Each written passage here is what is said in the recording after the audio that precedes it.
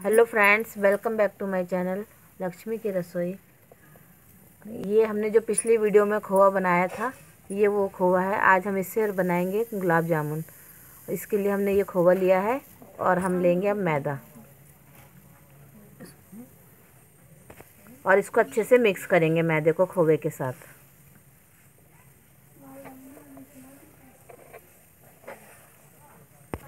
अभी ये हमारा खोवा थोड़ा सा गीला है, इसके, इसीलिए हमने थोड़ा सा मैदा इसमें और ऐड कर दिया है। इसको हम अच्छे से मिला के और इसका सॉफ्ट आटा गूंद लेंगे। अब हमने ये खाने वाला सोडा लिया है, आधी चम्मच, इसको भी इसमें मिक्स करेंगे।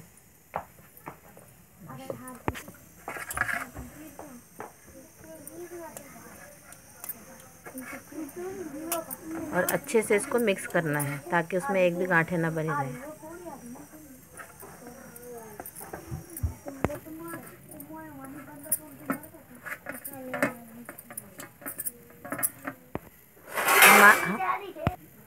हमारे गुलाब जामुन का आटा बन के तैयार हो गया है। अब हम चाशनी बनाएँगे। कढ़ाई में हमने ये चीनी डाल लिया आधा किलो। अब इसमें हम पानी डालेंगे।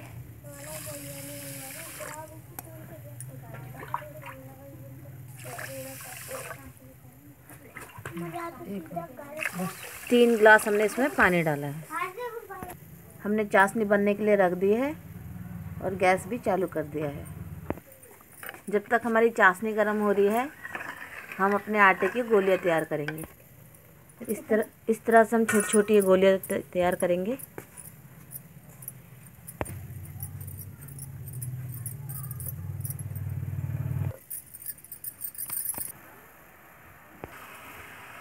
हमारी चीनी सारी मेल्ट हो गई है इसमें से, चाशनी में से। ये देखिए।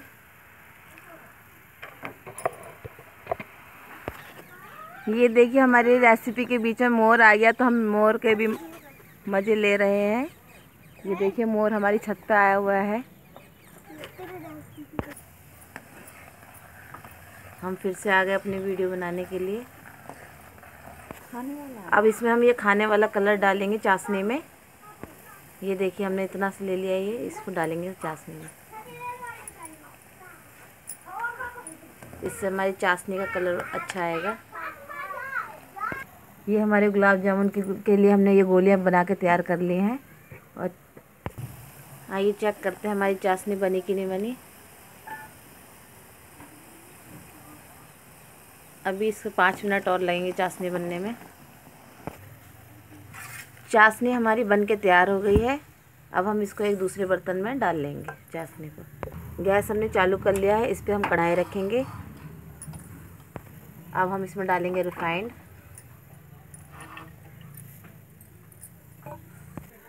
रिफाइंड हमारा गर्म हो गया है, इसको हमें ज़्यादा तेज़ गर्म नहीं करना है। मीडियम फ्लेम पे ही डालेंगे।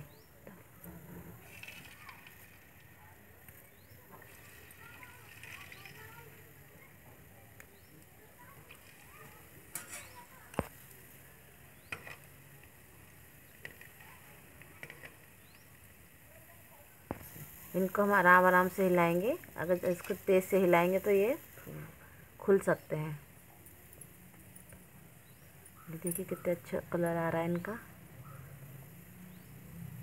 ये देखिए अच्छे से हमारे फ्राई हो गए हैं। अब हम इनको निकाल लेंगे और कितना प्यारा कलर आया इनका।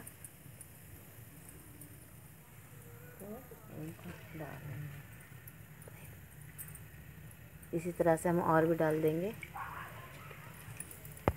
और इनको हमने चाशनी में डाल दिया है।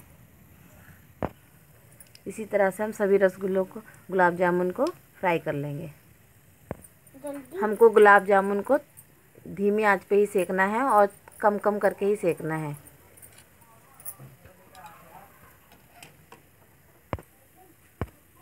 अब हम इसको चाशनी में डाल ये देखिए हमारे फूल के तैयार भी हो गए हैं। अच्छे से डाल दो उनको। इसी तरह से हमारे जो बच गए हैं वो भी हम फ्राई कर लेंगे। ये देखिए फ्रेंड्स हमारे सारे गुलाब जामुन बन के तैयार हो गए हैं। और आपको अगर मेरी वीडियो अच्छी लगे तो वीडियो को लाइक ज़रूर करें। और ये देखिए कितने ज़्यादा स्पंची बने हैं ये। अभी मैं आपको दिखाती हूँ। ये देखिए ये देखिए। जो बहुत ही टेस्टी बने हैं। आपको अगर मेरी वीडियो अच्छी लगे तो वीडियो को लाइक करें और मेरे चैनल को सब्सक्राइब करें और ज़्यादा से ज़्यादा शेयर करें और कमेंट्स भी करें और अपने फ्रेंडों को, सबको शेयर करें। Okay, thank you, bye bye, मिलते हैं नेक्स्ट वीडियो में।